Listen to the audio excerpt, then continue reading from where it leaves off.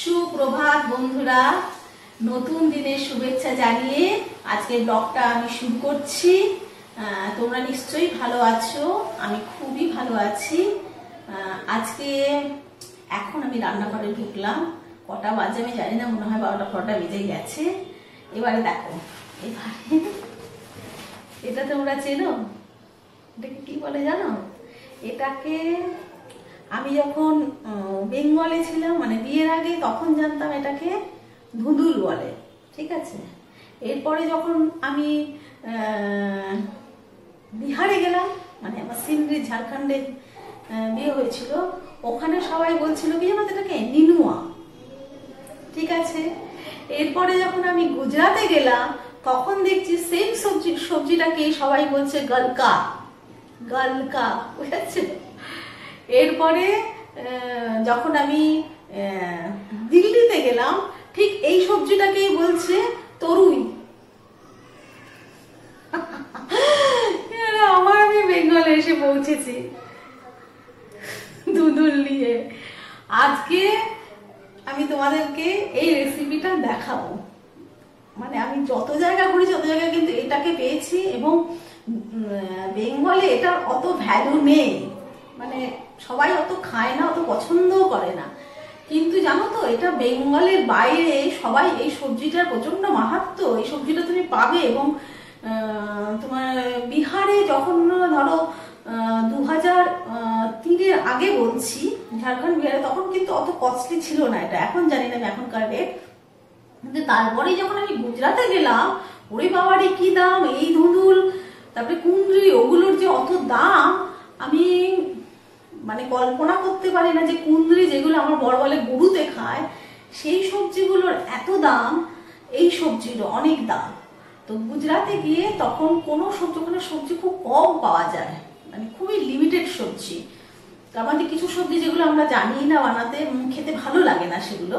তো তখন এগুলোই হচ্ছে অস্ত্র মানে এগুলো দিয়ে কোনো প্রকারে চালাতে হয় আমাদের। তো তখন রকম রান্না করা আমি শিখেছি। তো এটা আমি, এই সবজিটা যেটা আমি শেখাবো মানে দেখাবো তোমাদেরকে আজকে, সেটা হচ্ছে বিহারের রেসিপি এটা তোমাদেরকে আমি দেখাবো আজকে। তো চলো, এটার গল্প শোনালাম তোমাদেরকে।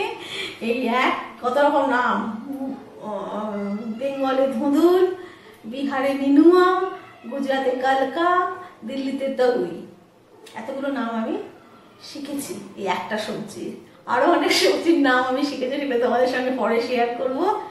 তো চলো আজকে রান্নাটা শুরু করি।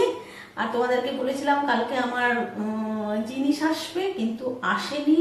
এই প্রথম আমাদের আগারওয়াল প্যাকার্স এত ঝোলাচ্ছে এত ঝোলাচ্ছে।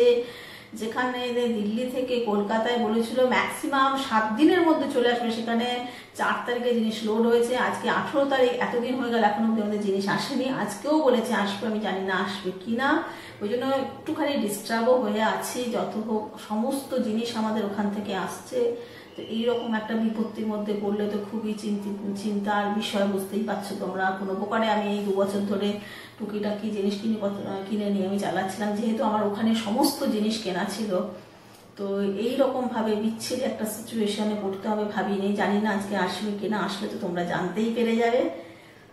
তো চলো, শুরু করি। আসলে কেন তো আরও বেশি মানে আমরা সবসময় মানে ভাবি যে এটাই মানে নিরাপদ একটা প্যাকার সেটা ইন্ডিয়ার এক নম্বর প্যাকার্স তাকে দিয়ে করাচ্ছে যাতে কোনো রিস্ক না হয়। কিন্তু তা সত্ত্বেও দেখেছ কেমন একটা ঝামেলার মধ্যে আমরা পড়ে গেলাম। ওই জন্য কাউকেই মনে হয় আজকাল আর বিশ্বাস করা যায় না। যাই হোক, কি আর করা যাবে? চলো, রান্না শুরু করি, পরে আবার তোমাদের সাথে দেখা হবে। হুম?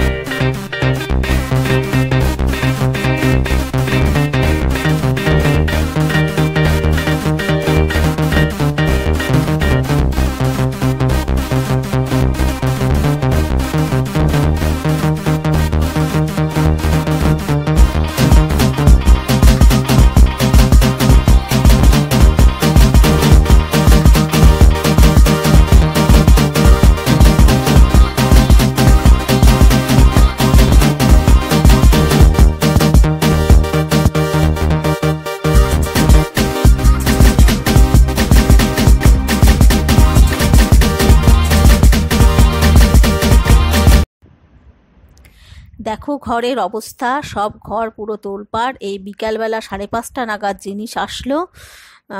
তো এখন পুরো ঘর লণ্ডভণ্ড হয়ে রয়েছে। ওরা খানিকটা বের করে দিয়ে চলে গেছে। তারপর আমি মানা করেছি, বের করতে কেন? সব ছড়িয়ে ছিটিয়ে রেখে দিয়ে চলে যাচ্ছে। সেগুলো গোছাতে অনেকটা সময় লাগে। তো আমি নিজের মতো খুলে খুলে আস্তে আস্তে কিন্তু তবুও যা অবস্থা করে রেখে গেছে। দেখো, দেখাচ্ছি তোমাদেরকে। এই দেখেছ? বিছানার অবস্থা দেখো, সব কাপড়ের কার্টুনগুলোকে খুলে নিয়ে আর বিছানার মধ্যে ঢাই করে দিয়ে রেখে দিয়ে চলে গেছে। এই প্রথম আগরপাল প্যাকার্সের এত বাজে অভিজ্ঞতা আমাদের কি বলব? যেই জিনিসই খুলছে, কাচের জিনিস, অজস্র ভাঙা গুঁড়ো গুঁড়ো, একে এতদিন আসতে দেরি করল মানে একদম বিচ্ছিরি অবস্থা। দেখো, বাথরুমেও জিনিসপত্র সব রয়েছে। কখন যে কি করব কে জানে, জানি না। আর আজকে রাতে তোমাদের সাথে ধুঁধুলের তরকারিটা শেয়ার করব ভেবেছিলাম, কিন্তু করার মানে অবকাশ হলো না, এই অবস্থায় বুঝতেই পারছ। তো রাতে খাবার আনিয়ে খেয়েছি ব্রেকফাস্টও বাইরের খাবার খেয়েছি। পরের দিন সকালবেলা এটা দুপুরবেলাতে ঘরে তরকা বেঁচেছিল সেটাকেই গরম করে এই চারটের সময়তে এখন খাবার খাচ্ছি। রাতেও বাইরে থেকে খাবার আনিয়ে নেব। কি করার, কিছু করার নেই। আর তোমাদের ধুদুলের তরকারি অন্যদিন শেয়ার করব তোমাদের সাথে। হাল বিহাল, কিছু করার নেই এখন। তো চলো আজকের মতো শুভরাত্রি। আজকে রান্না দেখাতে পারলাম না। কালকে আবার নতুন ব্লগ নিয়ে আসব। ভালো থেকো, সুস্থ